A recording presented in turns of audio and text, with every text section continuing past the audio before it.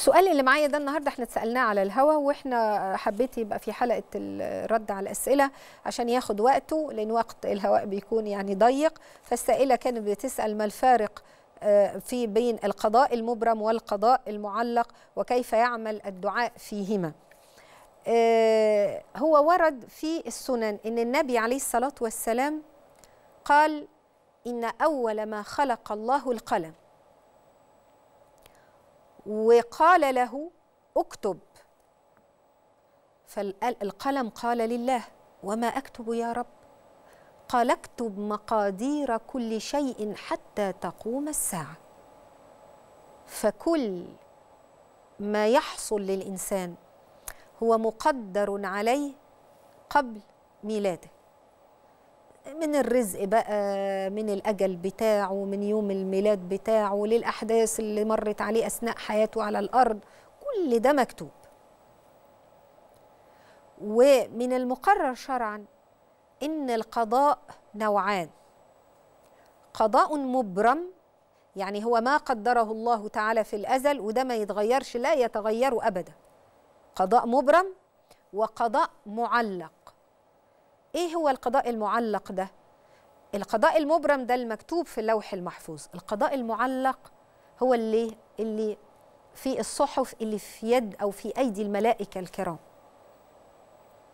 فإنه يقال مثلا اكتبوا عمر فلان كذا إن لم يتصدق فهو كذا وإن تصدق فهو كذا.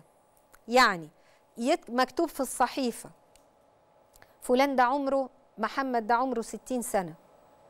لو تصدق هيبقى عمره 80 90 سنة أو يبقى عمره 80 أو 90 سنة. ده مكتوب وده مكتوب. إن تصدق ده اللي اسمه المعلق الإيه القضاء المعلق. يبقى يكتب ينسأ له في أجل. وفي علم الله وقدره الأزلي إن فلان ده هيتصدق أو لا يتصدق. يعني الله يعلم جل جلاله بعلمه الأزلي القديم. إن فلان إن محمد سيكون مثلا من أهل الصدقه فعمره بقى 80 لكن هو في علم الله هو 80 لأن ربنا يعلم إن فلان ده هيكون من أهل هو من أهل الصدقة ويبارك له في عمره عشان هو من أهل الصدقه فالملائكة تلاقيه يتصدق ف خلاص تعتمد الإيه؟ ال80 كمان الدعاء. فلان ده هيمر بابتلاءات شديدة جدا. يعني يعني هذا النوع من القدر أيضا مما ينفع فيه برضو الدعاء والصدقه إن فلان ده هيمر بابتلاءات معينة وإنه برضو عمره ده معلق على الدعاء ومعلق على الصدقة أو حوادث معينة بيعيشها في الدنيا تبقى معلقة على الدعاء والصدقة في القضاء الإيه؟ في القضاء المعلق. يعني فلانة دي منى دي ماشية في الطريق هيبقى امتحان معين. منى هتدعي. إن ربنا إيه يلطف بها في البلاء فيكتب لها اللطف في البلاء. من هنا يعالج الدعاء القضاء. القضاء الإيه؟ المعلق. في القضاء المبرم في علم الله الأزلي معلوم منى هتعمل إيه أصلا؟ معروف هي هت... الله يعلم ما سيكون منها. هي هتختار إنها تدعي وتصبر وتسأل الله وتلح في الدعاء فيتخفف عنها ويحصل اللطف به سبب الدعاء فالملائكة عندها إنها هتمر بالدعاء بالأزمة الفلانية. لو كانت من الذاكرين الداعين هيتلطف بيها ما كانتش كده هيبقى خلافه. نفس بقى القصة في كل شيء وعليه يكون برضو حتى فلان ده هيكون من أهل الصدقة والإعطاء وبيصل رحمه وبتاع فيزاد له في عمر في القضاء الإيه؟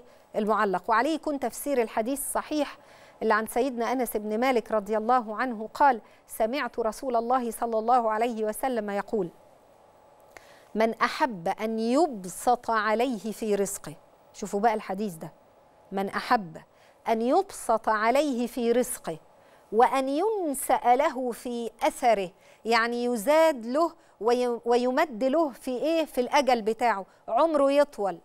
فليصل رحمه. اللي عايز رزقه يكتر واللي عايز عمره يطول النبي قال إيه؟ فليصل رحمه. فيكون ما في أيدي الملائكة من الصحائف. إن فلان ده ليه أجلين؟ لكن وفي علم الله معروف أجله إيه؟ وإنه سيصل رحمه. فلان ده هيصل فيزاد له في اجله ويوسع عليه في رزقه. وده المراد وهذا هو المراد بقوله تعالى لكل أجل كتاب يمحو الله ما يشاء ويثبت وعنده أم الكتاب. وكذا بيفهم منه معنى الحديث الوارد في السنن لا يرد القضاء إلا الدعاء ولا يزيد في العمر إلا البر.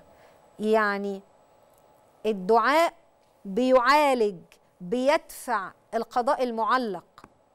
يبقى أنا اللي متأخر بقى عن الدعاء. وإنه الإنسان بيزاد في عمره إذا كان من أهل الخير. فالقضاء المعلق هو ما في أيدي الملائكة في صحائف الملائكة والمبرم هو الثابت في علم الله تعالى وهو لا يتغير. والدعاء لا يتغير به القضاء المبرم إنما يتغير به القضاء المعلق. هختم بمثال بسيط.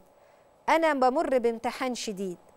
يا اقبل الامتحان بعين الرضا والثبات وكثرة الذكر وسؤال الله العافية.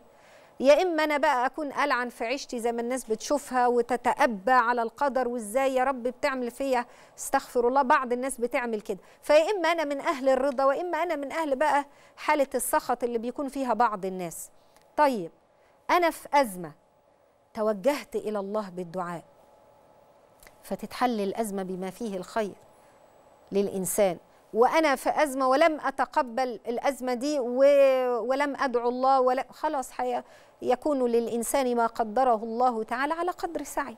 ده سعى بحسن الظن في الله وبالدعاء وبالصدقات مثلا.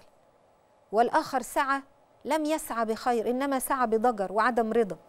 ففي صحائف اللي في إيد الملائكة إن فلان ده منى دي أحسنت بالدعاء فخفف عنها القضاء.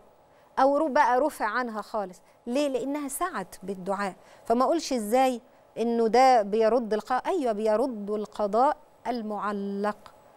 يبقى سعي الإنسان له آه. ومعرف وبعدين علم الله بالفعل لا يعني إجبار الإنسان عليه. الله يعلم ازلا إيه اللي هيكون من نادية واللي هيكون من منى واللي هيكون من أحمد واللي هيكون من محمد. كل ده معلوم مكشوف لله تعالى. في معلوم. في أم الكتاب. لكن سعي بقى الإنسان دلوقتي أنا اللي عليا إن أنا أسعى أدعو أتصدق أصل رحمي أصنع الخيرات وأجتهد في القيام بيها. علم الله سبحانه وتعالى لما سيكون مني من فعل في الحياة في الرحلة بتاعتي الأرضية دي لا يعني إجباري عليها.